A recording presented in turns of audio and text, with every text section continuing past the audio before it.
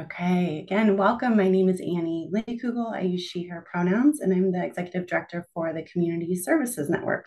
Super excited to have you all here today. Thanks so much. Um, we'll go ahead and kick it off with Maddie from the Inside Out Network. Thanks so much for being here. Awesome. Thank you so much. Thank you guys for having me. Um, as she said, my name is Maddie. I'm the Director of Operations with the Inside Out Network. Uh, we are a nonprofit organization that works to try and help connect those who are uh, releasing from incarceration with different service providers in the community that can help in that transition process. So um, we are in Illinois, Arizona, and then over about the past like year and a half or so, we have been expanding to Oregon as well. Uh, so we have been really actively trying to build a provider network in Oregon of different community partners who want to be, um, you know, on our platform as a resource to individuals who have been justice involved. Uh, we have a partnership with the Oregon Department of Corrections, so they are registering people as early as six months prior to their release we just started that phase of things in May. Uh, so it's still pretty new, about a month and a half ago. It was like the beginning of May. Um, and then uh, they can connect with service providers in the community via messaging and different things. Um, like I said, starting at that six months prior to release, and then also continuing for any length of time post release. So, um, even in even if an individual is already released and is needing support, they can also register with us um, so, so yeah, so we will kind of go over all of that today, but I just wanted to give you a little bit of a background. Um, and so, like I said, we have the partnership with Oregon Department of Corrections, and then we have really just been actively building a network. Something that makes our network a little bit unique is all the providers are self-enrolled. So they have all had to create their own profile um, and their own account in order to be registered with us. Um, and so that takes a little bit of time, right, to connect with different community partners um, so that they register on our network. Um, so I am going to share my screen here in a minute and kind of walk you guys through like what does the platform look like, uh, how do individuals register. It's also optional for returning citizens, so uh, they can choose to register or not, but it is um, an option given to them. And then I'll walk you through their user experience and then also what it looks like for a provider so that you guys can see like what goes into provider registration and also the different things they can do. Because it's a multi-sided platform, meaning that returning citizens can search for help in the community, but providers can also um, see returning citizens, see that they're releasing and reach out to them proactively as well if they're wanting to do so. Um, so please feel free if you have any questions as I go. It's kind of hard for me usually to keep keep up with the chat, but just, um, you know, feel free to kind of chime in if you do have any questions as I'm sharing as well. I'll help you. Thank you. Thank you. Thank you. Um, all right, so I'm going to go ahead and share my screen. Can you guys see my screen and still hear me okay? Hopefully, awesome. Okay, so this is what it looks like. So to access us, you just want to go to the insideoutnetwork.net, and that's how you access our site. I'm just going to kind of quickly go through the returning citizen registration. Like I said, returning citizens, it's optional for them. If they choose to register with us, they do get to complete their own registration. And this is the piece that is offered to them as early as six months prior to release. So right now we started with registration. It's kind of like our pilot phase at one facility, oh, two facilities, Deer Ridge and Warner Creek. And then we're going to continue to roll out to the rest of the facilities as well. But they just fill out some basic information about themselves. They create a username and password for their ION account so that they can access things. Um, if they don't have an email, that's fine. It's not required. So I'm just going to kind of go through some of this quick. But we do have an option for friends or family if they would like to have us share this information with friends or family so that they can help them use it. We offer that as well. Uh, release address is really important because individuals, so when they're using our site to look for community partners to help, everything is anchored based off their release location. So if they don't have a street address, that's fine, but at least city and state um, or zip code is important just so we can match them with providers relative to the area in which they want to be. Uh, they can list a phone number if they would like there's some questions regarding uh, offenses or convictions. These are optional. They do not have to answer. We actually have no restrictions as a platform. Anyone is welcome to use our site. But as you guys are probably aware, sometimes there are restrictions based on certain things. So if they want to disclose upfront, they're welcome to do so. There's a question regarding education. And then here are our nine categories. So when I'm saying service provider, right, like what exactly does that mean? Basically, if any organization provides services in any of these categories to those who have been justice involved, they're considered a provider or they can be considered a provider on our platform. So when an individual is registering, they want to make sure they're selecting whatever it is they want help with upon their release from incarceration. So um, yeah, like they can choose one category, they can choose all nine, whatever's applicable to them and their needs. And then there's a box where they can share some additional information about themselves. So anything else they want to share with providers, uh, like I said, providers can see their profiles, they can see who's coming home, they can even reach out. So if they're wanting to share something specific with providers, they can do so in this box. And then that's just, like I said, kind of quickly, but that's what goes into the returning citizen registration. Once they have an account created, um, let me see. I will kind of, I'm going to log in now and show you what that looks like as well. So you're able to see like, how can they actually use this, right, to search for help in the community. Let's see, my computer is loading a bit slow right now. But I'll go ahead and sign in. So um, I'm going to sign in just as a demo returning citizen for today, right? So um, it's just a demo profile. I'm going to give it a second to kind of catch up here. But Lola, she's our, like I said, demo returning citizen for the day. If an individual wants to edit any of their information, they can just go to my profile and edit it. Uh, the biggest things they typically do though are search for providers, right? So I'm going to click search by category. And here are our nine categories. So like I said, an individual is able to use this pre-release, post-release, but they can search by the different nine categories. Um, so say like Lola is wanting to connect with, um, you know, let's see, like shelters and housing, right? Post-release. If I go ahead and click on this, then any provider that helps with shelters and housing within a certain mile radius, in this case, it will always default to 15 miles of Lola's release location will come up for her. So as I mentioned, everything is anchored based on that release address. So up at the top, that's what this location is. It's that re release address she put on her profile when she registered. Like I said, it will default to 15 miles, but she can change this anywhere from five, you know, up to 100 miles. On the right-hand side, you see where the providers are located. And on the left-hand side, you see a list of the different providers. Again, all of these providers, right, have been self-enrolled. They've created their own profiles and registered with us as well. So if I wanted to check out an, you know, an organization to learn more, I can click on like Oregon Change Clinic, and then you can see um, that there's some additional information about them. So where are they located, right? The services they provide. Um, Pre-release, usually their website link is, you know, not accessible. Post-release, they can go to the organization's website, they can call, they can message both pre and post-release. So that's kind of exciting because they're able to actually just click on message, type in the message, uh, hit send, and it will go directly to that provider. They can read some additional information that has been shared by the provider. They can favorite the organization if they think it's interesting. They can just click on favorite and then all of their favorites populate to a separate tab as well. So that is um, what they can do. They can search all nine categories that exact same way. So they just click on search by category, select the category they want to search, and then go through and they can check out different organizations. They can also search directly by name. So if they've heard of an organization specifically, they can just type them in by name and find them that way. The saved service provider list, I'm going to go ahead and click on this. This is a list of favorites I was mentioning. So any organization that Lola has favorited, you can see we just favorited Oregon Change Clinic, right? She can just click on them from this page and it will take her right back to that individual provider page as well. So uh, it just kind of helps because Lola, like a lot of times in Oregon Department of Corrections right now, they're able to use like the WorkSource computer lab rooms to access this prior to release. And um, you know, they come back for different sessions, but anytime they come back, as long as they use the same login information, any favorites they have, all of that is saved in their account. Also, what is saved are all of their messages. So on the right-hand side here, any organization that Lola messages or any organization that messages her, all the messages will be saved in her account. So in this place, if I click on like Oregon demo provider, right, all the content of our conversation is saved in one place. So she's able to refer back to her messages as well as favorites. Um, like I said, as long as that same login information is being used. And so um, that's that's a lot of what Lola, like I said, can do. She can also reach out to the Inside Out Network if she's needing help. They can just click on provide feedback and there's multiple ways for them to get a hold of us as well. I am going to log out quickly and then show you what it looks like for a provider so you guys can kind of see that as well. Like I said, providers can see returning citizens, they can see that they're coming home. Uh, but do you have any questions for me at this stage?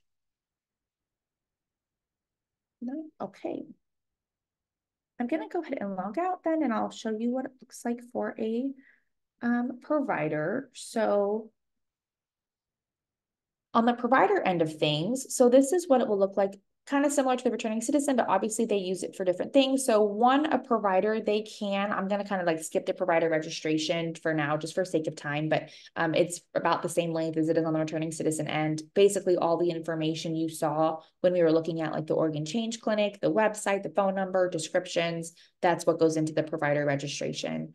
Um, but they can connect with individuals, like I said, um, they get notified of those who are releasing. So this new and upcoming releases tab, this 24, this means that there are 24 individuals within a certain mile radius of the provider and who are also looking for the types of services they provide.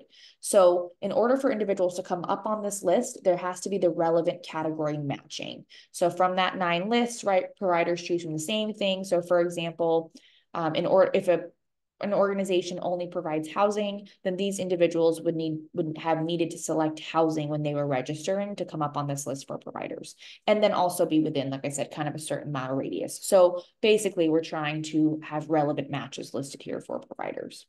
Um, and then the provider can go through and can learn more about different individuals. So like just for sake of the demo, if if I were to click on this name right, you can see additional information about them as well. Um, and so the provider can reach out by sending them a message directly. They can um, reach out by phone or email if they would like. They can make some different distinctions by making people green or red, etc.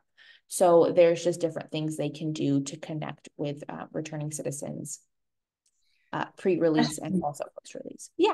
Quick question on that, Maddie. So if you have an agency with multiple individuals, um, under that agency, can they all see each other's notes to make sure that folks are getting reached out to, or how does that work?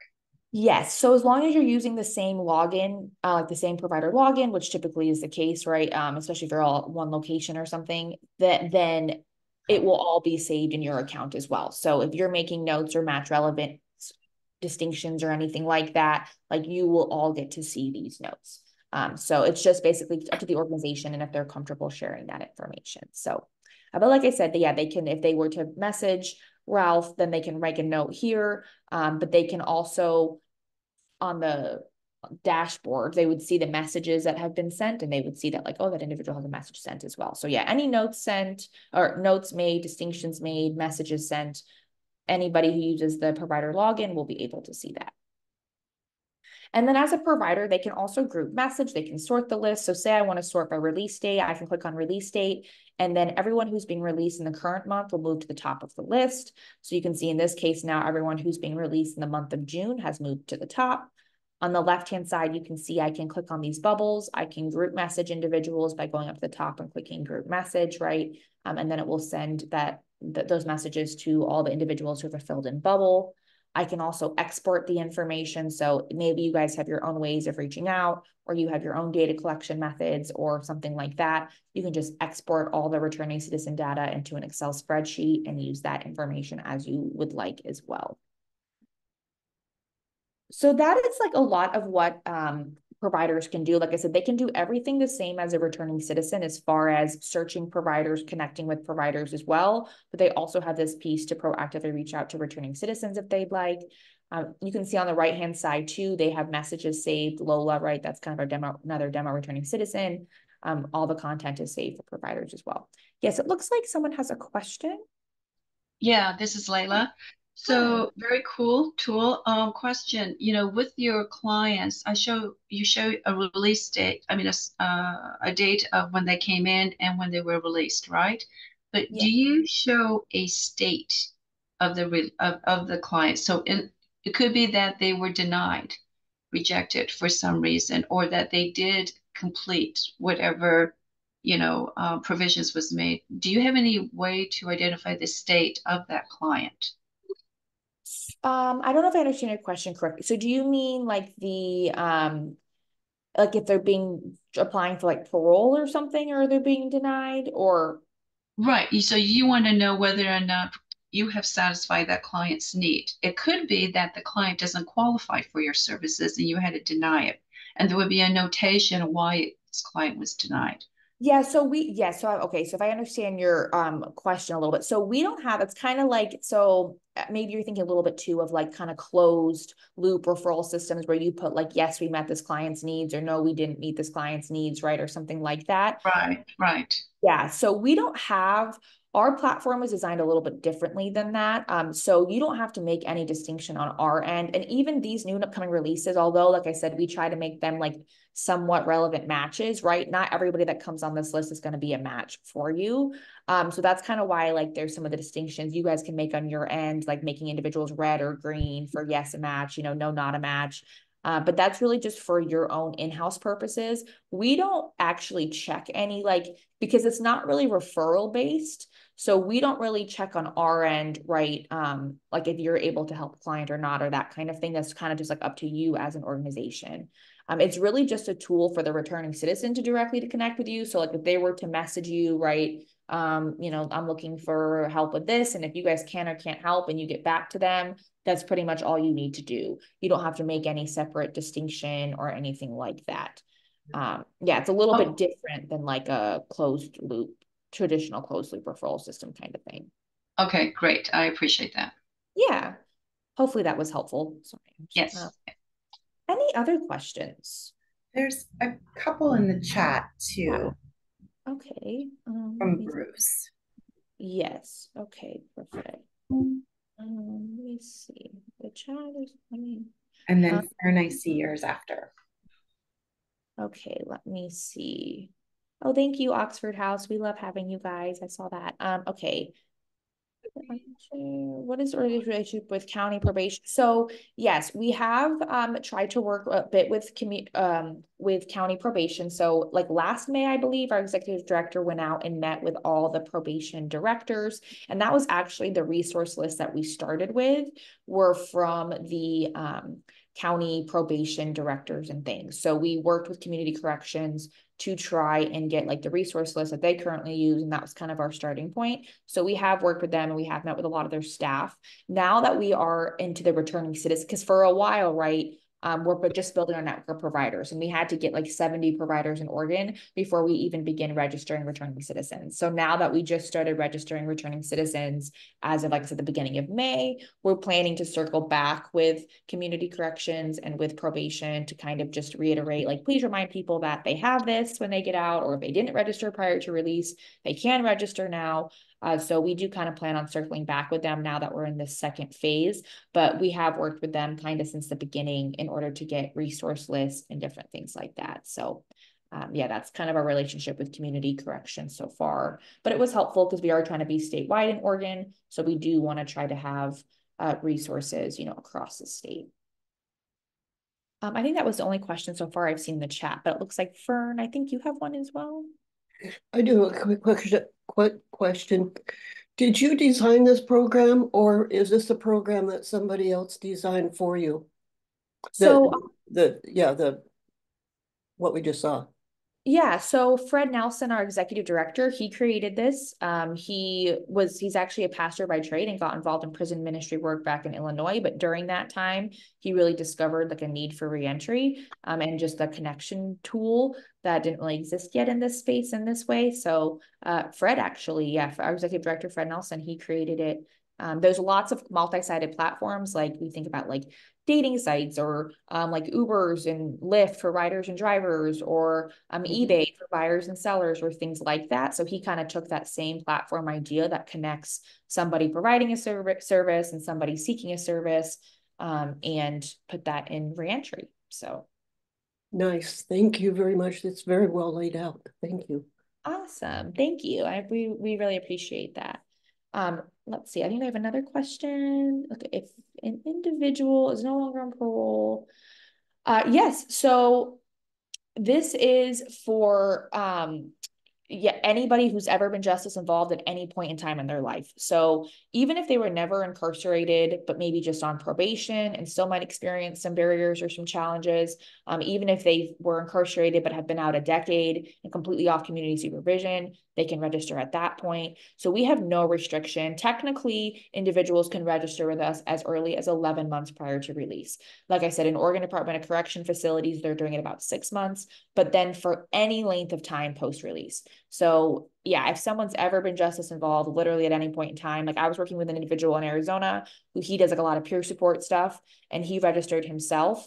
Um, and he's been out since 05 but he's like i just want to know what it's like and i want to be helping people use this and he was incarcerated at one point so um, yeah we have for any length of time they're able to register with us of course there are some providers that are very like you know we help 90 days um, right you know immediately post release or something like that but we definitely have providers who will help at any point in time as well any other questions I think too, I can put my, um, oh, yes, it looks like Peg, you might have them. I think you're muted. Hi, yeah, good morning. I was wondering if you had any um, like flyers or any other types of advertisement that we could put out for people already living in the community who may have previously been justice involved? Is that some kind of marketing you guys already have? Yeah, absolutely. We have flyers that we share with both returning citizens and providers both. So yes, I would be happy to send some, I, I don't know if it'd be helpful if I put my email in the chat maybe, but I would be happy to send you um, like some PDF version of the flyers or whatever is helpful. And um, yes, we do have ones that like we share with people who are already in the community. So yes, if you guys know anybody, like I said, on the provider end, on the returning citizen end, or whichever who could benefit from this platform, you know, we would love to help help get them registered in, in whatever way. So um, you guys are always welcome to share our information. I can send some flyers and uh, share my information as well. And, and yeah. So. Perfect. And Maddie, I can post that to the sorry, the website afterwards. Um, okay. Um, if you send those to me, and then if you just wouldn't mind putting your email in the chat so folks could connect with you directly if they have any questions, that would be amazing. Absolutely. Yes. I'll add my email to the chat now and I'll make sure to send you those flyers. And thank you guys so much for your time this morning. I know I'm about my stop point, so I just really appreciate it. Um, you know, you guys having me here. And if you have any questions, please feel free to reach out. I'd love to connect with you further. So thank you. Thank you so much, Maddie. Appreciate it. Such a great platform and uh, collaboration of resources. So thank you again. All right. Next up, we have um, Bryn Peterson with Easter Seals, Oregon, their homeless veterans reintegration program.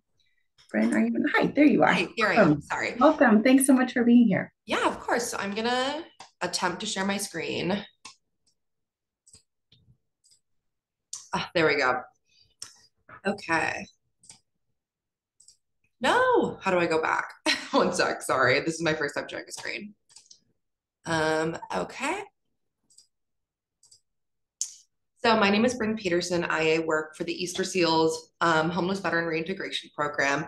We more casually call it the Homeless Veteran Employment Program. Um, HVRP is just the name of our grant.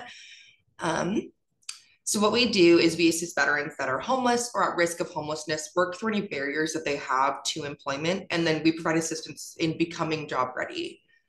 Um, so we have a few different eligibility requirements. One is a homelessness requirement. So there's a few different ways that we classify homelessness. Um, if a veteran is living in veteran specific supportive housing, such as VASH, SSVF, um, something along those lines, they would qualify for our program as well as living in a traditional shelter or living in a situation such as being like living in a car, in a tent, on the street, being um, physically unhoused. Um, also, we would consider people living with family or any other situations that they're living in that are um, proof of economic struggle or proof of um, if they didn't have the supportive housing, then they likely would be on these streets, is kind of how our grant classifies homelessness.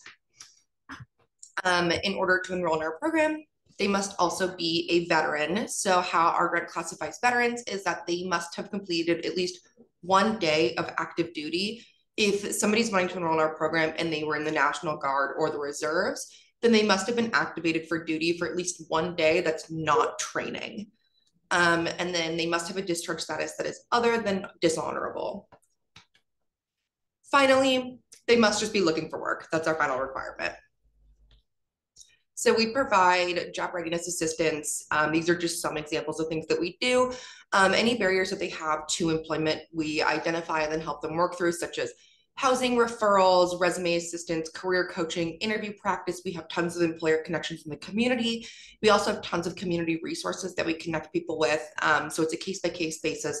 Whatever they feel like is preventing them from finding work, we help identify with them. And then through our own resources and through the community, we help them work through those barriers. Once they feel like they are adequately prepared for finding work, then we can help with financial assistance for things like interview clothing. We can help pay for trainings. We also partner with a lot of organizations in the community to pay for trainings that are a little bit more expensive. We can also pay for work tools, work clothing, um, transportation assistance, such as gas cards and bus passes. Um, again, really anything that we can justify as helping them towards employment are things that we can usually pay for. We also offer retention services for the veterans that are enrolled in our program. So once a veteran in our program finds a job, we check in on them monthly to ensure that they still have secure housing and employment for a year. And if any point in time during that year that they exit our program into employment, they're no longer working and their housing is no longer stable, they come back onto case management and we help them once again find work, find housing, and ensure that they're going to be very successful. We also have no referral process, which is very easy for everyone. Um, veterans can either give us a call, you're welcome to give out our numbers to anybody, um, or we are welcome to just take names and numbers and we can reach out to them. Here is the contact information for us. Um, the slides that I sent Annie, I realized this morning did not have this um, this contact information page. So I will put in the chat when we're done here all this contact information as well. Sorry about that. That's you can also just resend the slide deck and I can reload. Okay. I sent it to you at like 9 10. So sorry. Oh, great. Okay. No worries. No okay. worries. Perfect. Thank you. Mm-hmm. So these are all of our contact numbers. Our program is out of Washington in Multnomah County. So again, you're welcome to call or text or email any of us with just the name of a veteran and their phone number, and we'd be happy to reach out and talk to them a little bit more about our program. Um, or they can call us directly, and then we can talk about a time to sit down and do an enrollment. Um, I know that was pretty short and sweet. Um, I see some questions in the chat. Right now, we do currently have a wait list. It's not a formal wait list. Um, our grant ends the end of June and then we start a new grant July 1st. So because of that, everybody who's currently in our program will exit the last day of June. So there's a wait list in the way that we will call people in the last week of June and ask if they're interested in enrolling in our new grant that starts July 1st. But it's not a formal wait list where they'll be waiting months and months. Usually if you call, you'll be enrolled pretty soon after.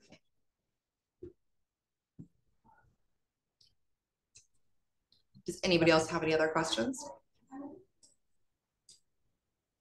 I love that you are a wait that you don't have a wait list. amazing. Yes, it, it's it's, it's really common. yeah. Um, Fern.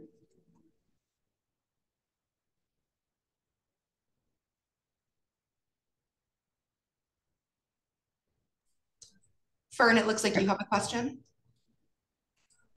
I'm talking away and unmuted.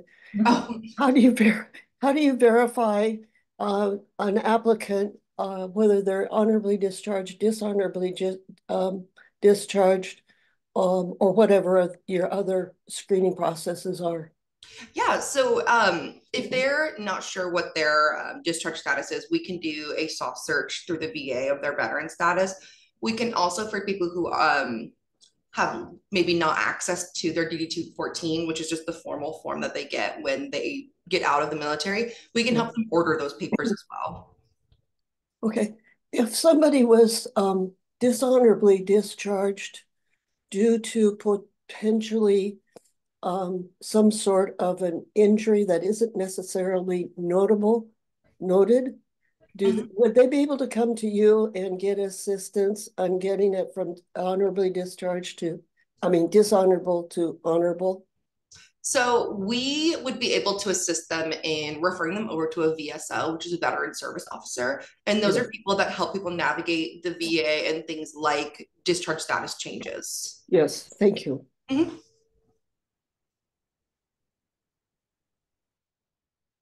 Are there any other questions? Awesome. All right, Bren, thank you Yeah. so much. And if you wouldn't mind putting your email um, Yeah. in the chat, that would be great. And then you don't have to put everyone else's. Um, I can Mhm. reload that. And then, folks, when um, we're done, I'll reload that slide deck and then you'll have Thank you. all emails. Yeah, absolutely. Thank you so much. Yeah. Appreciate you sharing today.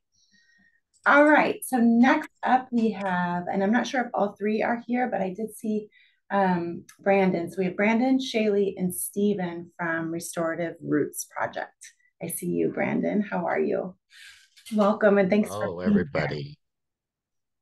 Thank you for having me this morning. Can you guys hear me? Yes, perfect. Thank you. Okay.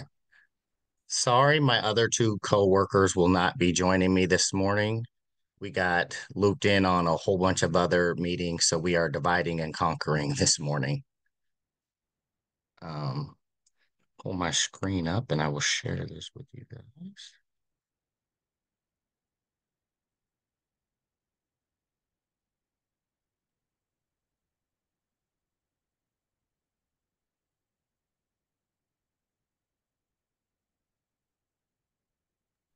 All right, can you guys see that? All right. Okay, so I'm gonna start out and introduce myself to everybody. My name is Brandon Brown. I am the Director of Community Outreach, Client Relations, and I'm also a Restorative Justice Facilitator with Restorative Roots Project. Um, we are a, a holistic restorative justice program aimed at the restoration and transformation of individuals and the community. I will do quick intros of the folks that have not joined us, but this is our executive director, Stefan Fowler. And this is Shaylee Pickrell. She is director of operations.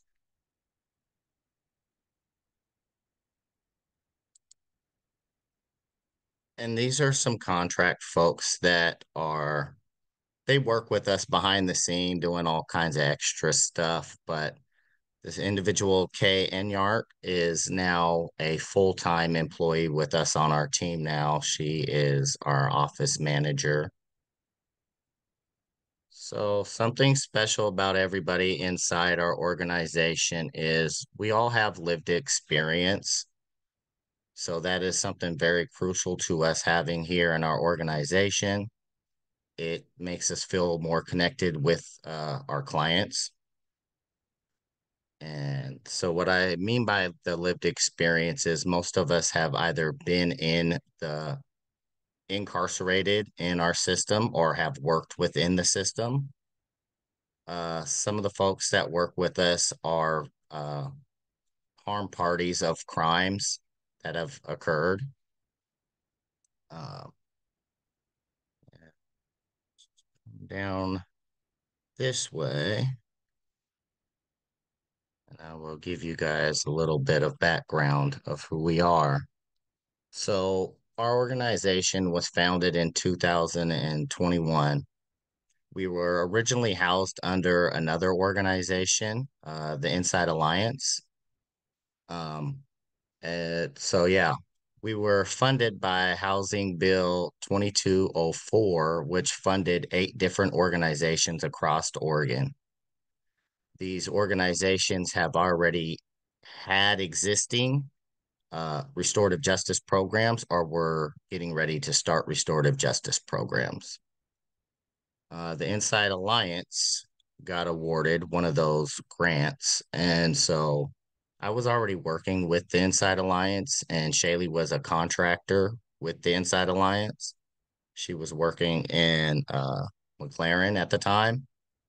And at the time, I was uh, working with uh, the Inside Alliance. I was going inside MacLaren teaching a 10 week class on mindfulness.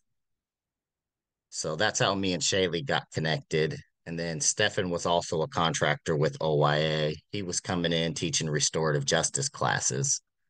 So we all knew each other prior to this organization that we had started. Um, like I said, we were part of another organization in 2021. Uh, we all were hired on board by the Inside Alliance to start this program. So it has been created by the three of us from the ground up. This is our baby. This is our little child right here that we are birthing to the rest of the world. In uh, 2023, we separated from the Inside Alliance and became our, our own 501c3 nonprofit.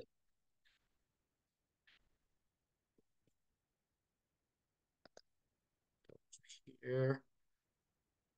So currently right now, services that we provide are community circles, organizational circles, conflict resolution circles, equity informed mediation, program evaluations, community referrals, educational speaking, restorative justice training. And then we also have our SAP program, which is one of our main programs, which I will speak about here in a second. And then our art reinvestment in the BIPOC community program our SAP program, which is our Survivor Centered Alternative to Prosecution program. This program is the the backbone of our organization. It's how we originally started work with. Uh, we do we do work. Our our partners are with Multnomah County uh, Public Defender's Office and Metropolitan uh, District Attorney's Office. So we get those referrals for this program from those two folks. We focus on taking measure ballot measure 11 uh, violent offense cases right now with this program.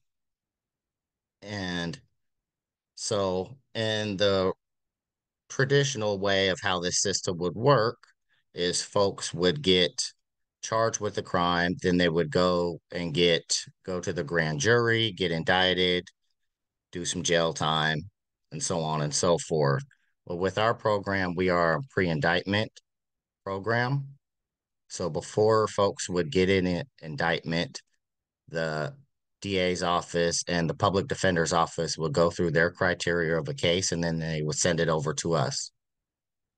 We work with both the responsible party and the harm party in these cases. Um, with the responsible side, we do accountability and responsibility work with them. And on the harm party side, we do trauma informed work with that person.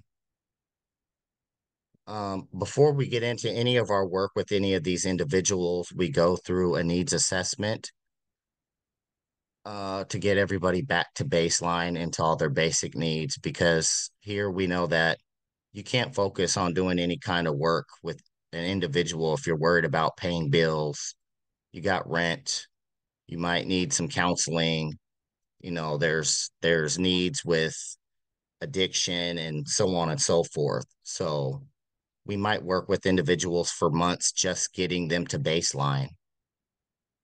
After that, then we break down into the work with both individuals separately. Our ultimate goal is to get everybody into what we call a restorative community conference where both sides will come together with uh, individuals that they feel are part of their support circle. It'll be me and another facilitator, and we will have several different community members come together and we will sit in a circle. Each side will be able to tell their stories, ask questions, and eventually we like to have everybody come together and think of a plan that the responsible party can do to rectify the damages and harm that they have caused in the harm party's eyes and in the community's eyes as well. That individual will then complete that plan that they have. And then at the end of that plan, we send our cases back to the DA's office and they expunge the crime from their record. So that is our SAP program and our main program that we do. We have now taken that SAP program and we have now implemented it into doing community referrals right now. So right now our community referrals come from just uh, partners that we have.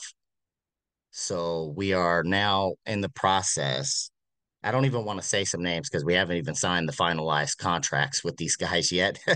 but there are two other big organizations that we are going to be taking referrals from. And we are also in the talks of negotiating and starting within the hopefully the next five to six months doing this program with the youth. So that is all of what we have. Oh, also there was our art reinvestment, but I do not have a slide up here for that because it is not started yet. But we have an art reinvestment program, which is also going to be tied to our youth programming,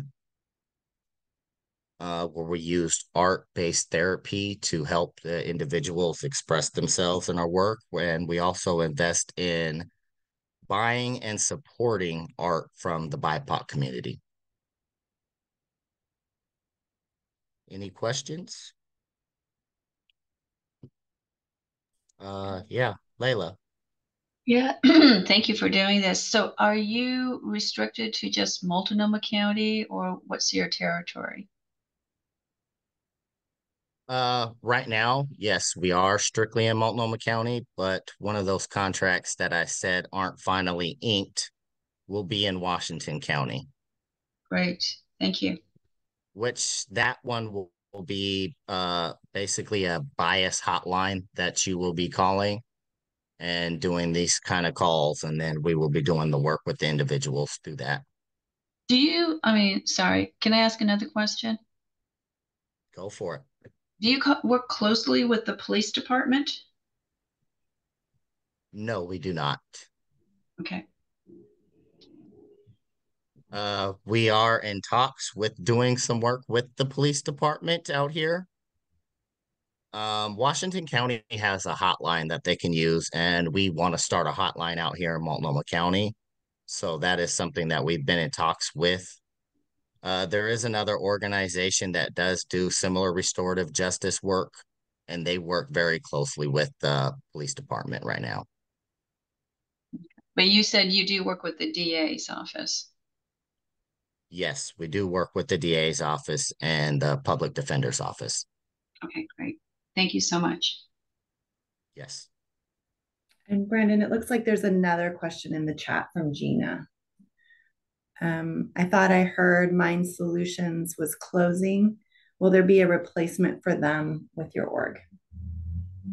So yes, Mind Solutions is closing very sadly. Um, so the director of Mind Solutions is actually going to stay on board with us, and she is going to be our full-time therapist. Um, also, where she is going to, we are in talks with negotiating with that organization that she is now going to be a part of. Awesome. And Bruce has a question, looks like. Hi, good good morning. Uh, with the advent of uh, uh, Measure 110 being uh, modified so that small quantities of drugs will can get you arrested. Do you have a relationship with the uh, uh, the treatment services that back up um, addiction? I, I'm struggling with this question. What's the relationship between the Evolving 110 and your organization? Um, right now, currently we we do have services that we provide for folks that have addiction. There are several organizations that we are tied with. Um, we're trying to figure out where we fit in in the 110 thing besides providing the services for our clientele.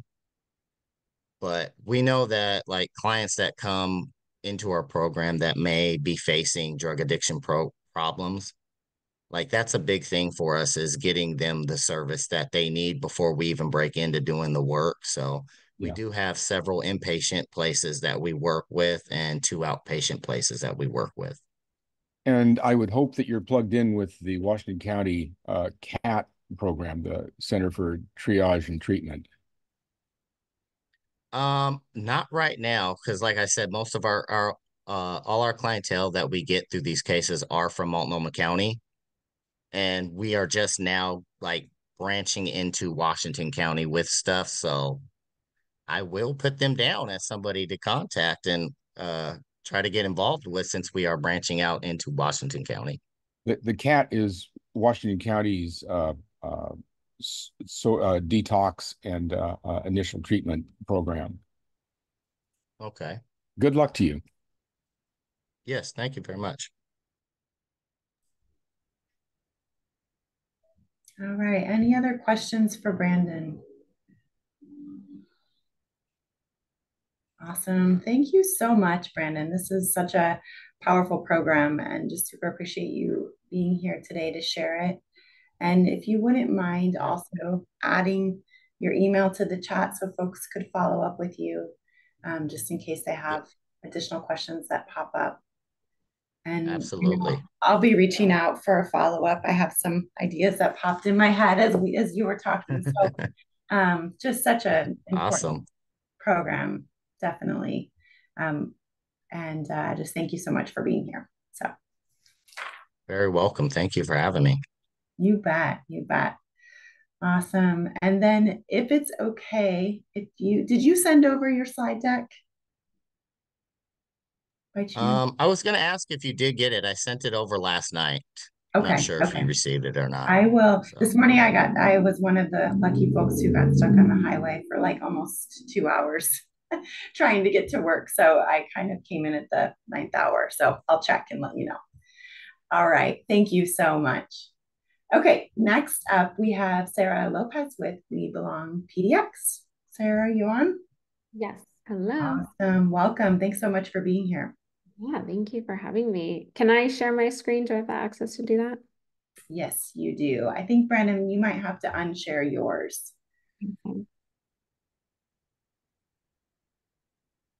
Perfect. Awesome. Thank you. And let me know, Sarah, if you have any challenges. Oh, um, let's get to the right thing here. I swear they move the buttons around all the time. okay. Do we, let's see, do we see my screen? Yes. Is it present mode? Okay, awesome. Yep, perfect. Right. My name is Sarah Lopez. I am founder, executive director of We Belong PDX. And um, we our vision is to give kids a strong sense of belonging and value. We run year-round out-of-school programs um, with the approach of taking a preventative approach to mental health. Let me go over. There we go. I'm just going to briefly share a founding story. So my background is education. I was a classroom teacher for seven years, uh, mostly elementary. And I um, then uh, during fast forward to COVID, I had already left the classroom and uh, wanted to support in the neighborhood that I grew up in. And so I went and knocked on doors and offered one-on-one academic support in the parking lot. Uh, within a matter of weeks, realized that um, rather than prioritizing academics, that um, it was essential to prioritize these children's mental health. I saw um, severe social anxiety, depression, um, cutting, suicidal ideation. It's really tragic to see that in such young kids. And so I essentially switched routes and began to just bring what I called my Mary Poppins bag full of arts and crafts and um, discovered their interests and brought activities that aligned with those. And we began um, to do those activities in the parking lot. And the goal was to reduce stress levels through COVID. I had some friends that joined in, wanted to um, help out. Um, when the rains came, a church offered us their space for free because they were not using it at that time. And so it began um, to turn into a program that began to fill the need um, there was for the families in that neighborhood. We now have three different sites um, at three different churches, and we are running year-round programs for over 50 kids. We um, take the approach where we first get to know the school counselor of a school nearby the church and uh, ask for recommendations from the local school counselor. to begin our program. And then we have um, some elements of wellness. I'm actually going to skip this. These are some stats on the situation. I think a lot of us are aware how tragic the situation is right now in mental health for kids. Um, and this is just some different um, quotes taken from the U.S. Surgeon General's advisory on um, the epidemic of loneliness and isolation. Dr. Perry is a leading neuroscientist and um, child psychiatrist. And in a book that he wrote, What Happened to that we recommend, this quote has really helped us um, design those four elements of wellness and what to surround our programming around. It says, Our major finding is that your history of relational health, your connectedness to family, community, and culture is more predictive of your mental health than your history of adversity. Similar to other researchers looking at the power of positive relationships on health, connectedness has the power to counterbalance adversity. So at the focal point of our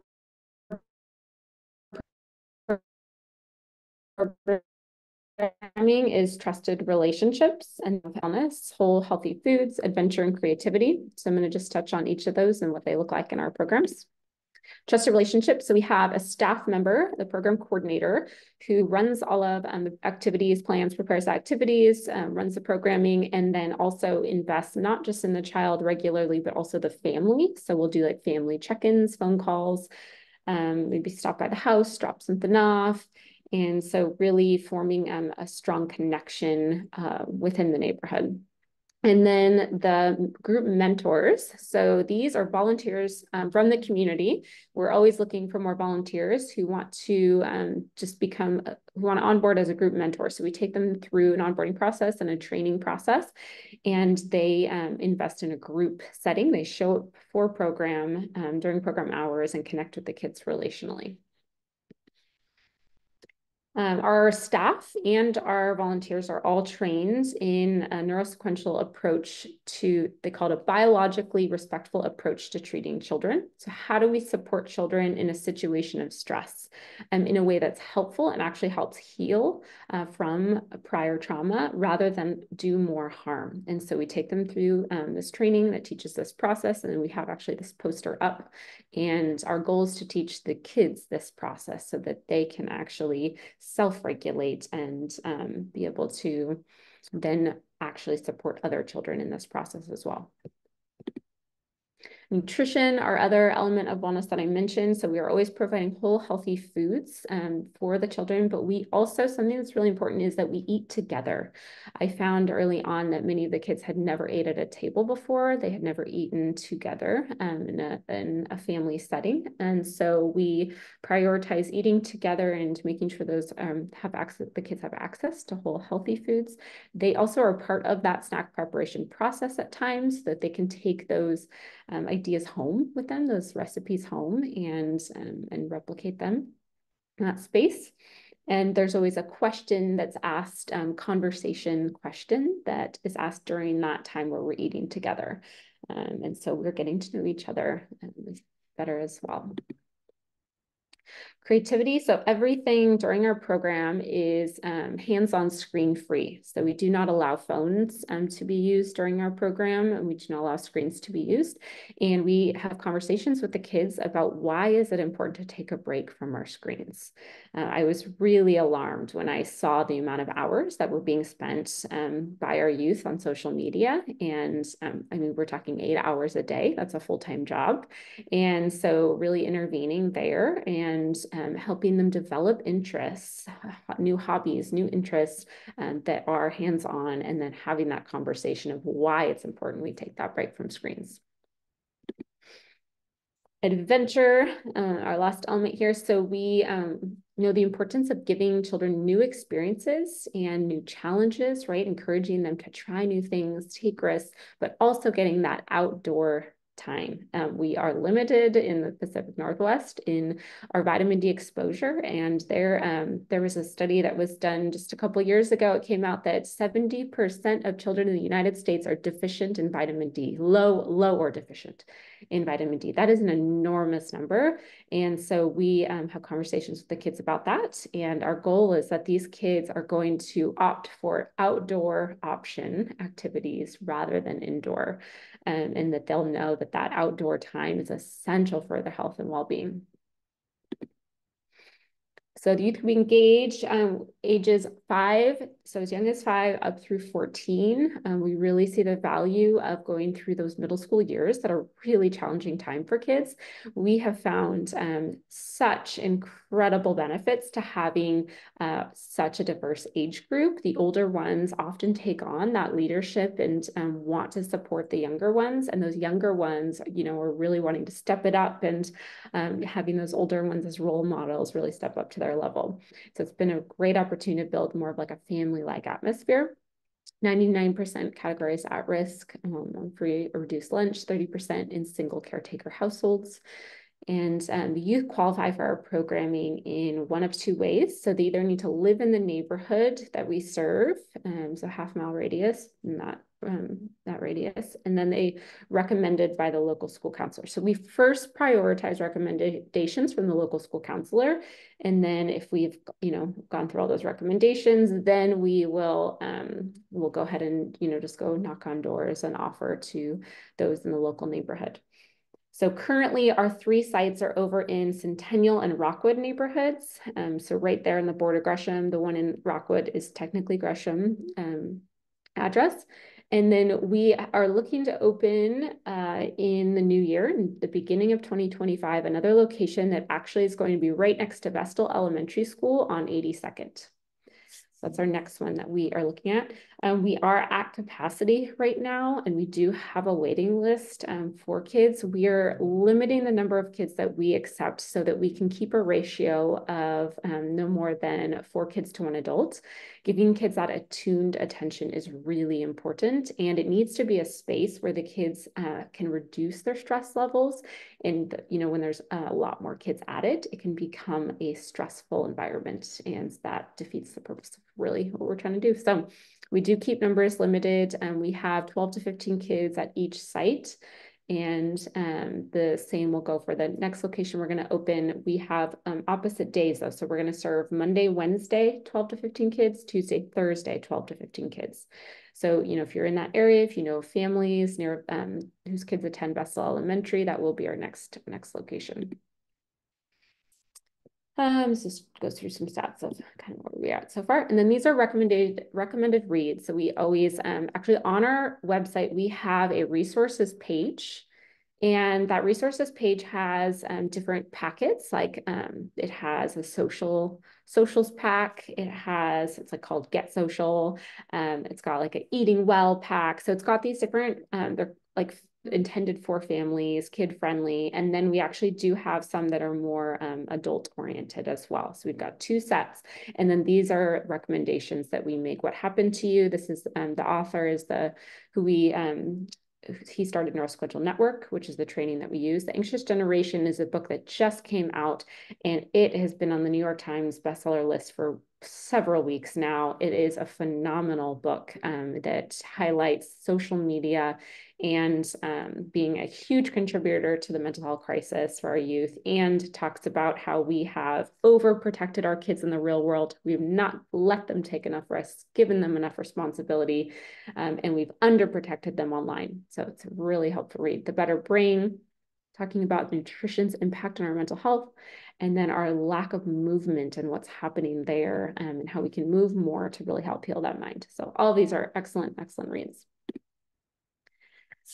And our website there, webelongpdx.org. Again, on there, there are resources. Um, also, I'm happy to give my contact information um, in the in the chat as well.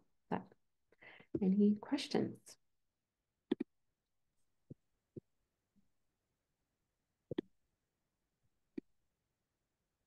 This is awesome, Sarah. I just super appreciate um, even the packs that you are adding to your website. While you might not be able to serve a ton of kiddos keeping the ratio down, which is definitely hugely important. Just giving folks the tools to work with their own communities is huge. Yeah, and we're hoping to grow those those resources that we have on there too. Right now, it's pretty minimal, but we definitely want to grow those that we offer. Wow, this is such an important program, and I love how you started as well. Um, so thank you so much for all you do. And it looks like Bruce has a question. Go ahead, Bruce. Yes, hi. I'm wondering if you have any relationship with any of the OSU extension programs such as 4-H. And there's also the Juntos program, which uh, focuses on getting uh, Latino kids to uh, graduate high school. I don't. Um, no, we don't have any connection to them, but I would love to get more connected to them. We actually we just did a big family event last weekend, and we had um, four nonprofits come out and share their resources. So we are always looking for other nonprofits too to to connect with, partner with, not just for you know sharing resources together, but also to invite them to family events that we have. Wonderful. Would you like a connection to the uh, uh, 4-H leader here in the county? Yes, could you please? Um, would it be possible to do an email introduction? I'm going to put the email in the chat right now.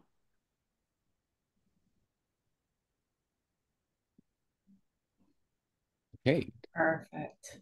Thank you. Awesome. Thanks. a question from Elizabeth. If we know of a child and want to refer them to this, should we reach out to their counselor to be referred? Thanks. Um, so they do also need to uh, be in the vicinity in that area. Um, but if you know, you know, a child, for example, who's in the Centennial um, neighborhood attending uh, Park Lane Elementary or Harold Oliver uh, Middle School or Rockwood um, in the Rockwood neighborhood, um, that area, then yes, I, I would say um, their council is a is an option. However, even just asking me dir directly which school they go to because at first they would have to be going to one of the schools that we're connected to. And if they are then yes you can go to the counselor but if not then that's not really an option at this point. But we hope to grow and open more sites where that will be an option. And when did you say you're adding vestal? In early 2025 so we're okay. aiming for um, end of january beginning of february. Okay perfect. So if you do know somebody I, yeah, I might. We're hosting a fair at Vestal, so I'll. I need to connect with you on that. So fantastic. Awesome. Any other questions? Looks like one. Yes. Um, do you partner with charter schools within the district? Actually, Rockwood Preparatory Academy is one of the charter schools that we work with, um, that we have a lot of kids um, from. So we do. Yep. If they are in that area, absolutely. There is no fee. So we are, um, yeah, fundraising through different events and um, accessing grants and individual donors. So no fees to the families. Let's see. Bruce or uh, Elizabeth, did you get your answer, your question answered? Yes. Okay. Oh, there it is. I see it. Sorry. Okay. Awesome. Thanks, Bruce. Any other questions? Perfect. All right. And this um, slide deck will also be a part of the one shared afterwards. So if you have, uh, you want to review it or take a peek at the books or look on their website, um, you're more than welcome to. So thank you so much again, Sarah, for all that you and your team do, um, especially for all these kiddos. It's been a tough road for them and just uh, appreciate your efforts for sure. Thank you so much for, for having us. Absolutely. Absolutely.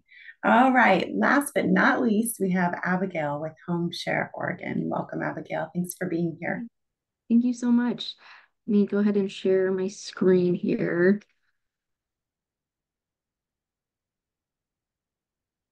Everybody see that? Okay, awesome. So my name is Abigail Daner. I'm the area program manager for Home Share Oregon, which is a nonprofit that serves the entire state of Oregon, but I'm going to be focusing on um, for today's presentation because that's where I work and I think that's where most of us are focused um, on our efforts. So the mission of HomeShare Oregon is to expand access to affordable housing through home sharing. We believe that this is a direct way to prevent housing instability, foreclosure, and homelessness. So we're really focused on the prevention side of um, the housing problem. Our goals are to shift the cultural norm in regard to home sharing, to provide direct participant support, and to engage in advocacy efforts with local and state governments to pass initiatives designed to decrease barriers to home sharing and to incentivize homeowners to join the home sharing movement. So nationally, the average um, the national average for rental availability is a 95% occupancy rate. Our state is higher than that with 96.7 rental occupancy rate. And if we zoom into Portland, it's actually 98%, um, which is extremely, extremely high.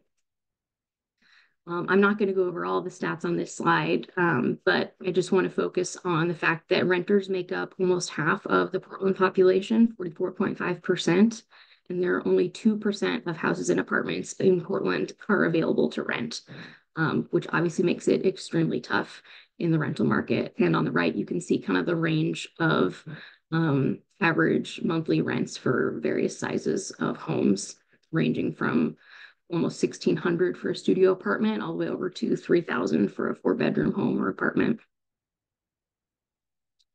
Um, I think all of us are probably aware of the fact that there's a housing crisis in Oregon. About one in three homeowners in Oregon are housing cost burdened, which means they're spending more than 30% of their income on housing. That's over half of a million Oregonians. And almost a quarter of a million homeowners are severely cost burdened, which means they're spending more than half of their income on housing, um, which is just, um, you know, not untenable and unsustainable. Um, and if we zoom in a little bit, we see that in particular, our senior homeowners are really in crisis. Almost 40% of Oregonians who are over the age of 65 say that they are at risk of losing their home. Um, you can see over here, 172,000 homeowners are spending more than 30% of their income on housing, and 77,000 are spending more than half of their income on housing. So a huge percentage of the population that we serve at our organization are seniors, just because that tends to be who needs our services the most. Um, the humanitarian crisis in Oregon is really becomes apparent when you look at these statistics. We've got at last check, at least 15,000 unhoused people living in Oregon. For every rental that becomes available, you have 14 renters competing for that single rental. And the societal cost of one person falling into homelessness is $40,000 per person, um, per individual falling into homelessness to try and help them out of that situation. So again, we're really trying to focus on the prevention side and keeping people housed and keeping people in a stable um, home environment. So um, you can see here the average, um, I'll take a step back and just to clarify what home sharing is, it kind of relates to the old concept of taking in a boarder. Um, it's the idea that you have some spare space available in your home that you want to share.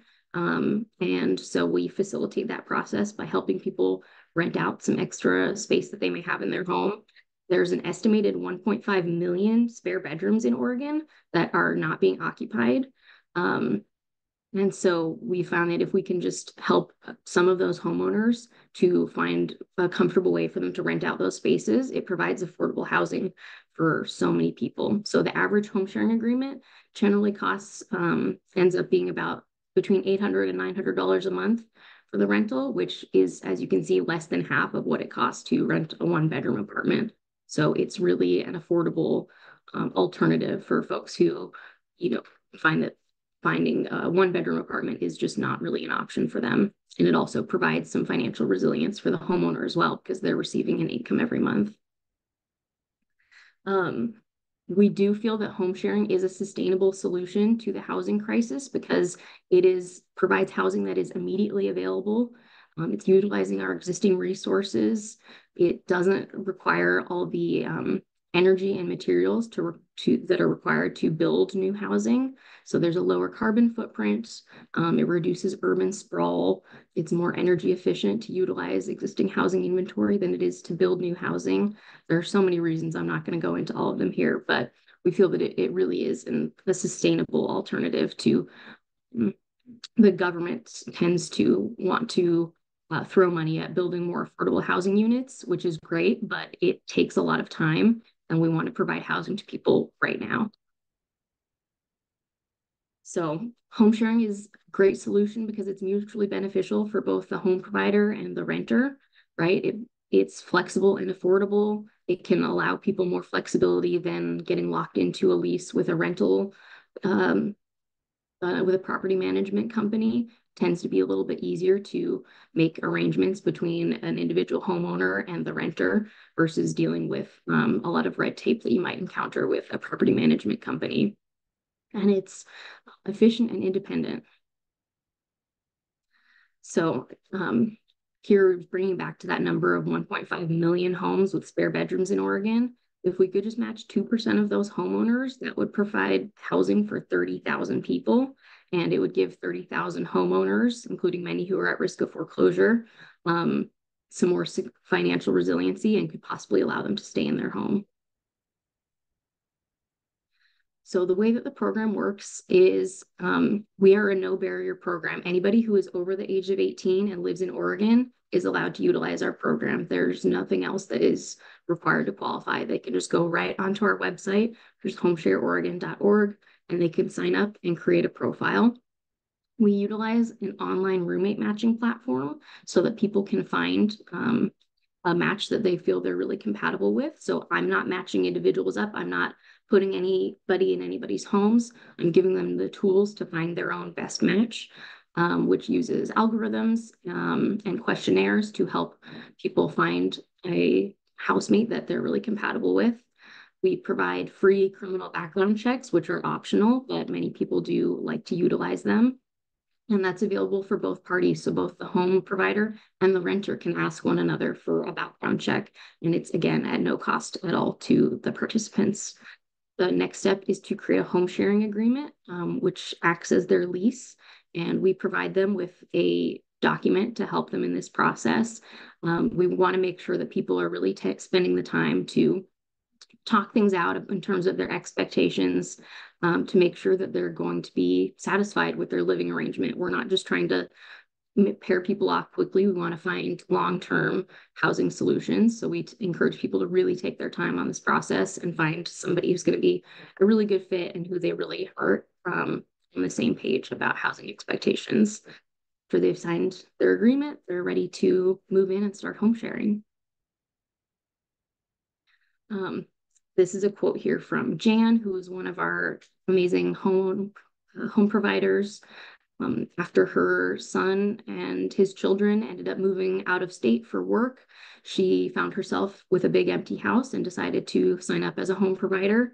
And she ended up with this young man here who was a single father who needed a place to live. So him and his children were able to move into Jan's home and they ended up um, being a really great fit for each other. And it really helped to um, fill that gap that she was feeling from her family moving away. So it provided a really great solution for, for both parties. These are some questions that um, people might consider if they're wondering whether home sharing is right for them. Um, a lot of the folks who consider this are empty nesters, um, older adults, uh, people who might need a little bit of help around the house with some light household chores. Um, a lot of our homeowners are also older adults who are seeking companionship. They're just tired of living alone. And this provides, you know, a solution for that as well. And again, mortgage burdened homeowners, people who just need a little bit of an extra income each month to make sure that they're comfortable with um, their mortgage amount. So there are a lot of different reasons somebody might um, consider home sharing, and they're all totally valid, and we encourage it. And for those who are on the renter side who are considering home sharing, um, some of the things that they might want to consider is if they're interested in exchanging some light household chores in exchange for lower housing costs, um, or if they're just, again, seeking companionship or experiencing a life transition and just needing an affordable place to live. There are a lot of different reasons to consider home sharing. I would say the number one reason is just people looking for affordable housing, and it's as good a reason as any other. All right, and I'm going to skip this slide because yeah. So that's just a little bit about us. Um, if anybody has any questions, I would love to hear them. And I'll put my email address in the chat in case anyone wants to follow up with me. That's what I want to do. Okay. Any questions for Abigail? I love this concept. It's um, such a great way to a lot of folks want to put in an ADU or something that is so expensive. And this is an awesome way to support the same concept but not have that exceptional expense. Absolutely, yeah. I see a couple people with their hands up. Um, just, I don't know, Leanne, I think I saw you first, if you had a question. Yes, I was curious with the background checks, uh, what what would be some red flags for folks who are looking to be the renter?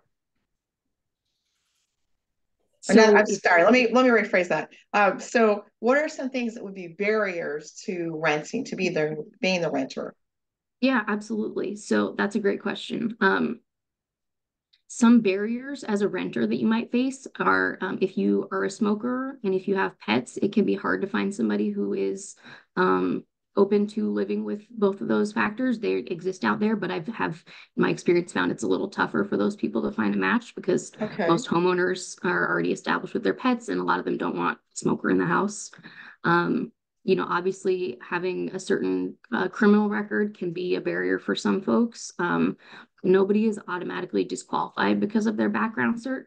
Um, they're they're able to share those results and explain whatever they feel um, they need to explain when they're talking with an individual.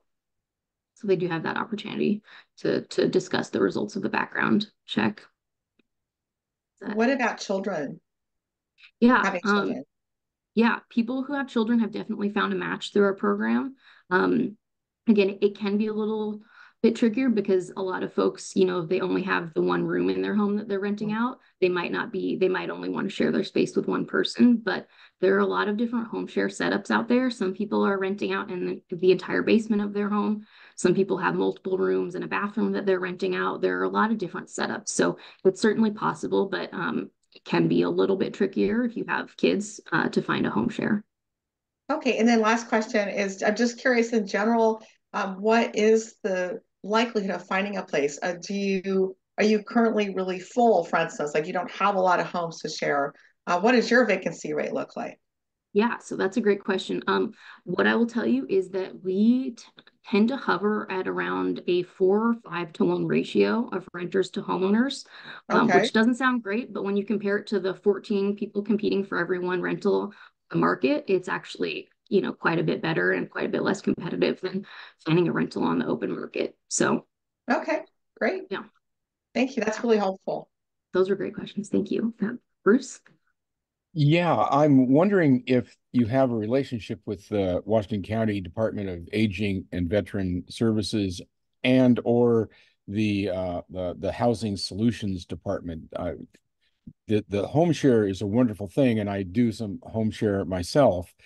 Um, I'm thinking of transitional housing, supporting the probation program or mental health uh, group homes? Do you get into any of those kinds of uh, uh, communities to support? I haven't yet. You know, I that's a great idea. Um, we often get approached tend it's more likely that those groups tend to approach us looking for housing because we we don't have any trouble finding renters. There's no shortage of people looking to use our program for finding a place to live. So I do tend to focus my efforts more on finding um, places that will yield more housing inventory, but I'm absolutely open to connecting with those groups. The Washington County Office of uh, Equity Office has a community connections newsletter that Mhm. home share uh, would promotion would fit right into. So Yeah. uh, the the CSN advertisement promotes the equity office's community connection, so you can get a link there. Great. Thank you. Thank you. It looks like there's a question in the chat, Abigail, from Elizabeth. Yeah. Are there there any any- Oh yeah, go for it. Yeah, um, right now there's no cost to use the program. Um, they need to sign up through the proper channel. Um, they need to go through our website um, because we operate our, our home sharing, um, our roommate matching platform is actually operational nationwide and we make it free for Oregonians. So they do need to go through our website to sign up in order to get the correct link that is gives them a free account. Um, so as long as they sign up through the proper channel, there's no cost to use it. So are you saying, Abigail, that home share is in every state? Is that? There, no, our website that our roommate matching platform um, exists in other states. Uh, so other home sharing organizations sometimes um, will partner with them in other states, but Home Share Oregon is just in Oregon. We only serve Oregonians. Okay. Thank you. Any other questions for Abigail? Thank you so much for your time. I really appreciate it, everyone. Thank you so much. I don't know about you all, but I feel like I learned so much today, and I've already met with a lot of these presenters. So there's just so much information out there. I think that um, I find I learn each time I watch these. So thank you so, so much to all of you for uh, sharing time and expertise with us today and for the work that you do day in and day out to everyone. Um, it definitely impacts our community and um, is just uh, it's it's more fun to do it alongside all of you as well. So thank you again. And um, are there any questions or does anyone want to share any upcoming events? I know we have a lot going on in Portland um, with Juneteenth tomorrow and Pride. A lot of uh, fairs coming up. So just be on the lookout. We're trying to share more and more as we can um, as we receive them through the CSN Weekly resource email. So please make sure you send your events to us so we can add those to our resource email. Uh, Fern, it looks like you have a uh, your hand raised. Yes, is um, I want to make an announcement. Is now a good time? Of course, you go okay. Ahead. Okay. I'm uh, Fern Wilgus. I'm with Brain Injury Connections Northwest, and we're teaming up with PCEP, that's the Portland, Portland Community Engagement uh, Policing Program. And uh, we're going to be um, having on June 26th a um, community forum, a partner forum on, um, excuse me, brain injury and uh, policing and public safety. And uh, so if any of you are interested in learning a little bit about brain injury, and also engaging with other organizations with uh, policing. And of course, the focus is is is on brain injury, but also uh, we've widened it up for just working with any uh, with any population, uh, disability population. So that's on September 26th. I ask that you go to the PCEP or the Portland Community Engagement Policing um, website and sign up because um, we are limited. We're going to be at the Melody, what's what's that called? Melody Hall, I think, or Melody Event Center, and uh, there's there's a headcount restriction. So if you would sign up, I'd appreciate it. The one, one last thing is, unfortunately, somebody has hacked and dissolved both our uh, website, which is back up, as well as our telephone and we didn't realize that they were disarmed, if you will, um, for quite some time. The telephone is not up, but our but our website is. And thank you very much for allowing this time. Bye. Thanks, Fern. And I just want to confirm, is that June 26th or September? Um, the date of the event. Yeah, I think, wait, now just a second. I got myself confused. Do you have something that tells you something different? I don't have a link. I just wanted to make sure. Yeah. I'm a positive it's June 20. So Andy is, Andy is June. Okay, great. June. Okay. Thank you. Thank you. yeah, no problem. No problem. Awesome. Thank you. Thank you both. Okay, anyone else have anything else to share? Okay, awesome. Well, I will give you three minutes back in your day. Thank you so much, everyone, for being here, for all the work that you do. I hope you have a fabulous sunny Tuesday and a great rest of your week. And happy um, Juneteenth as well. And I hope you can get out and enjoy some of the activities going on. So thank you again. Be well.